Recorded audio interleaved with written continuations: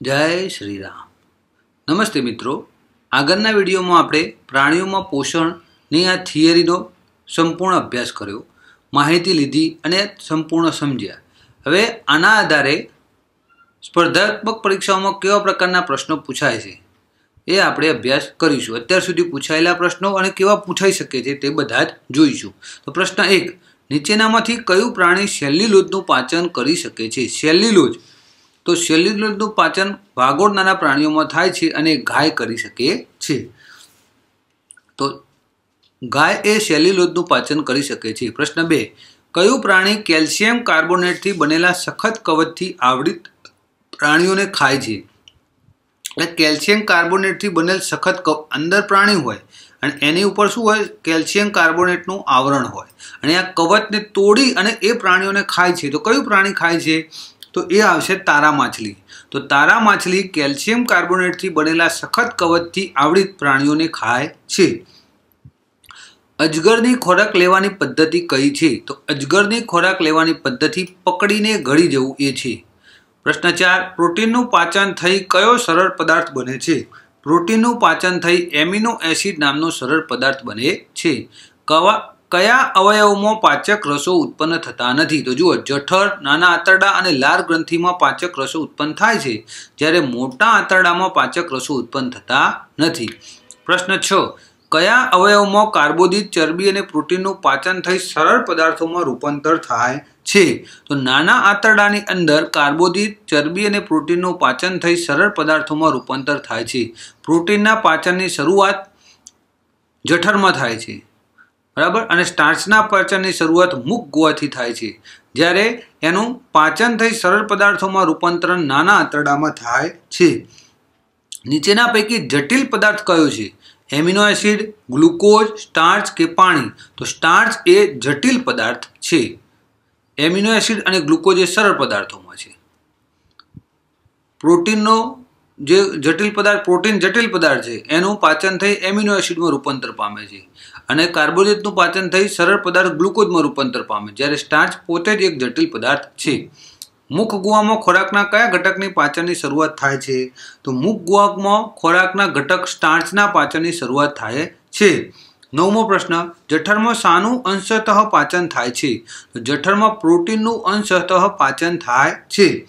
પ્રશ્ન દસ જીભનું ટેરવું કયો સ્વાદ જલ્દી પારખે છે? તો જીભનું ટેરવું ગળ્યું. અને આ જીભ હોય આ રીતે આ રીતે પાછળથી આ રીતે જીભ હોય. એમાં જે ટેરવાનો ભાગ છે ત્યાં ગળ્યો પદાર્થ હોય. અહીંયા હોય છે કડવું પછી ખારો અને ખાટો. આ રીતે અહીંયા ખા, તો આ રીતે સ્વાદના કેન્દ્રો આવેલા હોય છે જીભ ઉપર. ગળ્યો સૌથી પહેલો, છેલ્લે પાછળ કડવું. ત્યાર વચ્ચેના ભાગમાં ખારો અને ખાટો. પ્રશ્ન અગિયાર જોઈએ રસાંકુળો શોષણ કેન્દ્રો ક્યાં આવેલા છે? રસાંકુળો શોષણ કેન્દ્રો નાના આંતરડામાં આવેલા છે. પુખ્ત વયની વ્યક્તિમાં કુલ કેટલા દાંત હોય છે? પુખ્ત વયની વ્યક્તિમાં કુલ બત્રીસ દાંત હોય છે. વિભાગ એ અને વિભાગ બી સાથે જોડો. લાળ રસ ક્યાં ઉત્પન્ન થાય છે? તો લાળ રસ મુખ ગુહામાં ઉત્પન્ન થાય છે. પિત્ત રસ ક્યાં ઉત્પન્ન થાય છે? પિત્ત રસ એ યકૃતમાં ઉત્પન્ન થાય છે, માટે એને પિત્ત રસની ફેક્ટરી કહેવામાં આવે છે અને સંગ્રહ પિત્તાશયમાં થાય છે, માટે એને ગોડાઉન કહેવામાં આવે છે. હાઇડ્રોક્લોરિક એસિડ એ જઠરમાં મંદ એચસીએલ જઠરમાં ઉત્પન્ન થાય છે અને આંતરરસ એ નાના આંતરડામાં ઉત્પન્ન થાય છે. તો આ આપણે જોઈએ. હવે જોડીએ પહેલામાં સી તો પહેલામાં સી એકમાં છે. માટે તેરમાં જવાબ આવશે બી પહેલામાં ડી સોરી મુખ લાલ રસની અંદર ડી આવશે. તો પહેલામાં ડી વાળો ઓપ્શન સી છે. આ આવશે. અહીંયા આપણે ટીક સાચું કર્યું પણ ભૂલ થઈ. પહેલામાં ડી વાળો, એટલે લાલ રસ મુખ ગોવામાં પિત્તરસ યકૃતમાં. હાઇડ્રોક્લોરિક એસિડ એ જઠરમાં અને આંતરરસ નાના આંતરડામાં ઉત્પન્ન થાય છે. મુખમાં લાલ રસ સ્ટાર્ચનું ખાલી જગ્યામાં રૂપાંતર કરે છે. તો મુખ ગુહાની અંદર લાલ રસ લાલ રસ હોય છે, જે સ્ટાર્ચનું શાની અંદર રૂપાંતર કરે છે, તો એ સ્ટાર્ચનું શર્કરામાં રૂપાંતર કરે છે. એટલે કે શર્કરા એ સરળ પદાર્થ છે. જ્યારે સ્ટાર્ચ એ જટિલ પદાર્થ છે. હવે સત્તરમો પ્રશ્ન, કડો સાત જીભના કયા ભાગ પર પરખાય છે? પંદરમો પ્રશ્ન છે. સત્તરમો નહીં, પંદર. તો કડવો સ્વાદ જીભના, આપણે જોઈએ તો પાછળના ભાગમાં પડખાય છે. અહીંયા આપણે જોયું. હા, અહીંયા પાછળ કડવું હોય છે. પ્રશ્ન સોળ પિત્તરસનો સંગ્રહ શેમાં થાય છે? પિત્તરસનો સંગ્રહ પિત્તાશયમાં થાય છે માટે એને ગોડાઉન કહેવામાં આવે છે. વાગોળનાર પ્રાણીઓ ઘાસ ખૂબ ઝડપથી ગરી જાય છે, તે ખોરાક શેમાં સંગ્રહ પામે છે? વાગોળનાર પ્રાણીઓ ખોરાક ખૂબ ઝડપથી ગરી જાય છે, તે ગરી ગયેલો ખોરાક અમાશયમાં સંગ્રહ પામે છે. શેનું પાચન થઈ એમિનો એસિડમાં રૂપાંતર થાય છે, તો પ્રોટીનનું પાચન થઈ એમિનો એસિડમાં રૂપાંતર પામે છે. ખોરાકમાં પાચનની શરૂઆત કયા અંગથી થાય છે? ખોરાકમાં પાચનની શરૂઆત મુખ ગુહા નામના અંગથી થાય છે. ખોરાકને વલોવવાનું કાર્ય કયા અંગમાં થાય છે? ખોરાકને વલોવવાનું કાર્ય જઠરમાં થાય છે. ચલો આગળનો પ્રશ્ન જોઈએ.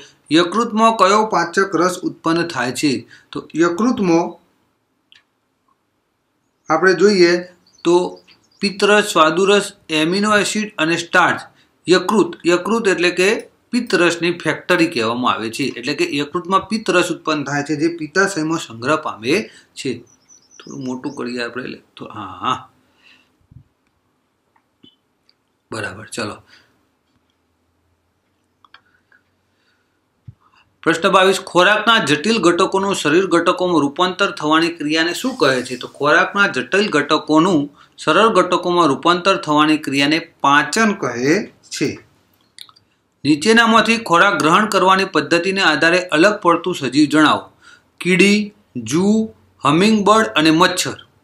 તો આ જે સજીવો છે, એમાં ખોરાક ગ્રહણ કરવાની પદ્ધતિ જોઈએ તો મચ્છર પણ લોહી પીએ, જૂ પણ મચ્છી ચાંચ એના પ્રવર્ત જેવું ચૂસવાનું આવે એની અંદર. હમિંગબર્ડમાં પણ ચાંચ જેવું, જ્યારે કીડી એ ખાય છે ખોરાકને.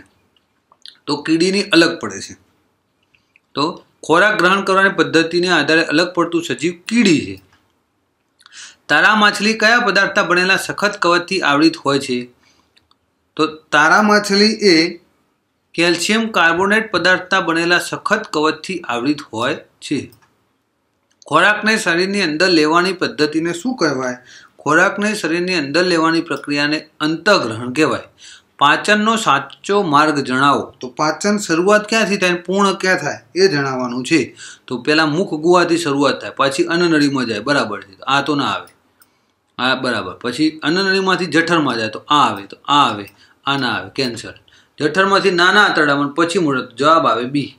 મુખ ગોવામાંથી અન્નનળી અન્નનળીમાંથી જઠર, જઠરમાંથી નાનું આંતરડું પછી મોટું આંતરડું.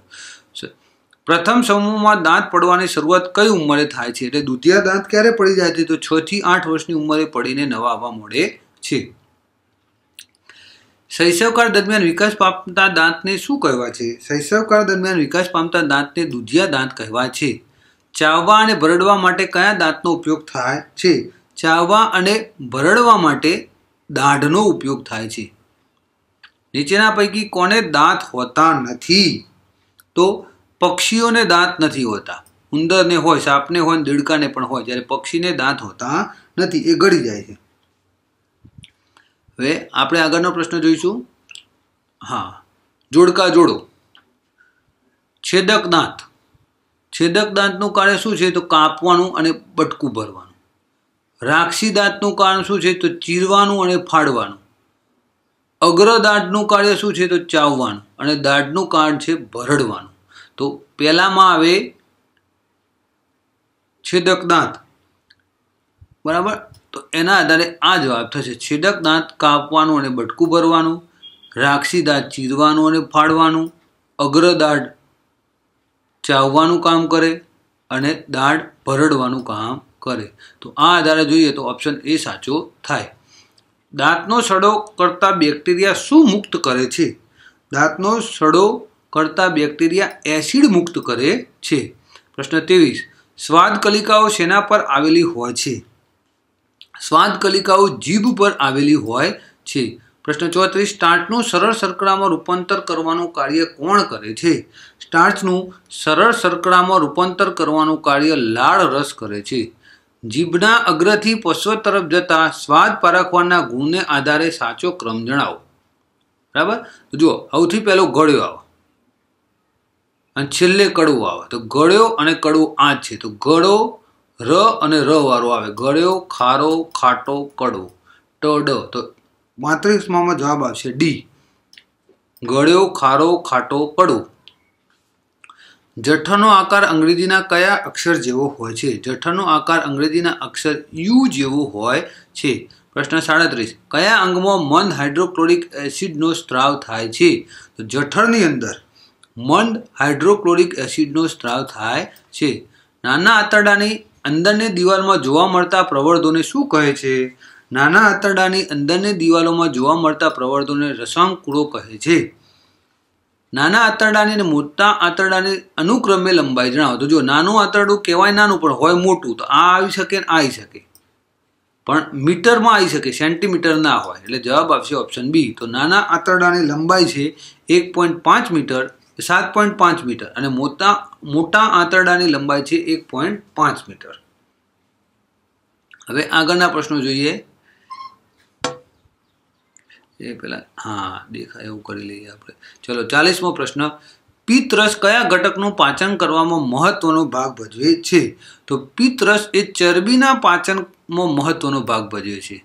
કે જે યકૃતમાંથી સ્ત્રાવ થાય છે અને સંગ્રહ પિત્તાશયમાં થાય છે. બરાબર? તો પિત્તરસ ચરબીના પાચનમાં મહત્વનો ભાગ ભજવે છે. પ્રોટીનમાં સરળ પદાર્થ એમિનો એસિડ. તો ચરબીનો કયો છે? તો ફેટી એસિડ અને ગ્લિસરોન બરાબર? તો એકતાલીસ ગ્લિસરોલ આપેલું નથી, પણ ફેટી એસિડ છે માટે બી. નીચેનામાંથી પાચન ક્રિયાના ભાગ નથી. શોષણ થાય. બરાબર? પાચન ક્રિયાનો ભાગ કયો નથી? શોષણ, પાચન, મળત્યાગ અને સ્વાંગીકરણ. તો ઓપ્શન સી મળત્યાગ એ પાચન ક્રિયાનો ભાગ નથી. તેતાલીમો પ્રશ્ન જોઈએ. મનુષ્યના પાચન તંત્રમાં પાણીનું શોષણનું કાર્ય કયા અંગમાં થાય છે? તો મનુષ્યના પાચન તંત્રમાં પાણીનું શોષણ થાય છે મોટા આંતરડામાં. તેતાલીસમાં ડી મળત્યાગ એ પાચન ક્રિયાનો ભાગ ના કહેવાય. બરાબર? અમીબામાં ખોરાકનું પાચન શેમાં થાય છે? તો અમીબાનું ખોરાકનું પાચન અન્નધાનીની અંદર થાય છે. અમીબા ખોરાકના કણને સાના વડે પકડે છે. તો અમીબા ખોરાકના કણને ખોટા પગ વડે પકડે છે. શરીરનો એકમાત્ર પાચક રસ જે સ્વતંત્ર અંગમાં હંગામી સંગ્રહ પામે છે.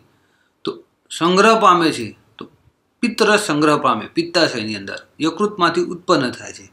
માટે સાચો જવાબ આવશે સી. શરીરનો એકમાત્ર પાચક રસ પિત્તરસ છે, જે યકૃતમાંથી ઉત્પન્ન થાય છે, માટે યકૃતને ફેક્ટરી કહેવાય છે અને પિત્તાશયમાં સંગ્રહ પામે છે, માટે એને ગોડાઉન કહેવાય બાળકોના દુધિયા દાંતમાં કયા પ્રકારના દાંતનો સમાવેશ થતો નથી?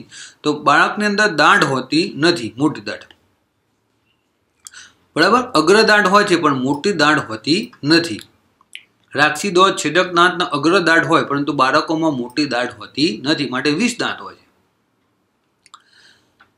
અડતાલીમો પ્રશ્ન. મનુષ્ય કયા કાર્બોદિતનું પાચન કરી શકતા નથી? તો મનુષ્ય સેલ્યુલોઝનું પાચન કરી શકતા નથી. વાગોળનારા પ્રાણીઓ, તૃણાહારી પ્રાણીઓ કરી શકે છે, ગાય, ભેંસ જેવા. ઓગણપચાસમો પ્રશ્ન. કયા અંગમાં ખોરાકના પાચનની ક્રિયા પૂર્ણ થાય છે? પૂર્ણ કયા અંગમાં થઈ જાય છે? તો નાના આંતરડામાં પૂર્ણ થઈ જાય છે. પચાસમો પ્રશ્ન અન્નમાર્ગનો સૌથી પહોળો ભાગ ધરાવતો અવયવ કયો છે? સૌથી પહોળો ભાગ એ જઠર છે. આપણે જોયું કે અન્નમાર્ગનો સૌથી પહોળો ભાગ કયો છે? જઠર. તો મિત્રો, આ આપણે પ્રાણીઓમાં પોષણની થિયરી અને પ્રશ્નો બંને જોઈ લીધું. આશા રાખું કે આ વીડિયો તમને ખૂબ જ ઉપયોગી થયો હશે અને આવનારી સ્પર્ધાત્મક પરીક્ષાઓમાં તમને ચોક્કસથી ફાયદો થશે. મિત્રો, જો તમને વીડિયો ગમતો હોય, તો વિડીયોને લાઇક કરો અને તમારા મિત્રો સાથે શેર કરો. સાથે સાથે આપણી આ ધ ટીચર ચેનલને ચોક્કસથી સબસ્ક્રાઇબ કરો, કે જેથી અમને તમારા માટે આવા ઉપયોગી વીડિયો બનાવવાનું પ્રોત્સાહન મળતું રહે. મિત્રો, આ તમને ફ્રી આપીએ છીએ. તમે કેટલાય ક્લાસીસમાં જોડાશો, પૈસા ખર્ચશો ત્યારે તમને આવું કન્ટેન્ટ આવું પણ નહીં જોવા, આટલા બધા પ્રશ્નોની કોઈ જ પ્રેક્ટિસ નહીં કરાવે. તો ચોક્કસથી ચેનલને સબસ્ક્રાઇબ કરો. આગળના વિડીયોમાં આપણે વનસ્પતિના પોષણનો અભ્યાસ કરીશું. ફરી મળીશું મિત્રો આવતા વિડીયોમાં. ત્યાં સુધી હસતા રહો, ખુશ રહો, તંદુરસ્ત રહો અને ભણતા રહો. Thank you very much